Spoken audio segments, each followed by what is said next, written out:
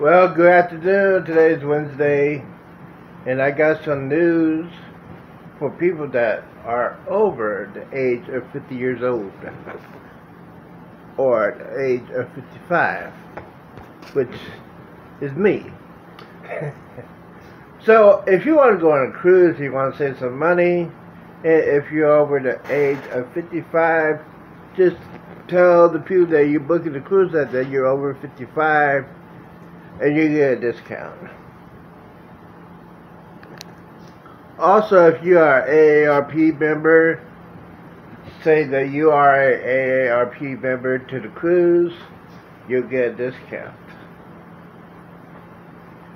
But if you have parents or grandparents that want to go on a cruise and you want to save them money, just tell them that my parents or grandparents are over the age of 50 and they'll get a discount.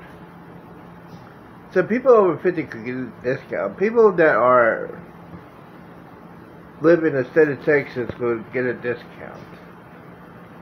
And most important, people that serve our country, military people, are serving our country, or be or military veterans that served their country will also get a discount. The thing, the main thing is when you book a cruise, you need to tell the people you're booking a cruise on that I am a veteran, I am over the age of 55, and whatever state you are, you get a discount. Just see what happens. Let me tell you what I did with mine. I had, I was 55. I got a discount for that one. And I also got a discount for the state of Texas because I live in of Texas and I was going out of Galveston. And I got a uh, Ocean View uh, cabin for seven days for $600. That's a great deal. On a Carnival Vista.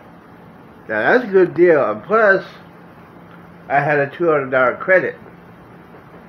Great news. So the thing is, you want to know, you want to tell people, hey, I want to go on a cruise. I'm not scared. I got my vaccination card.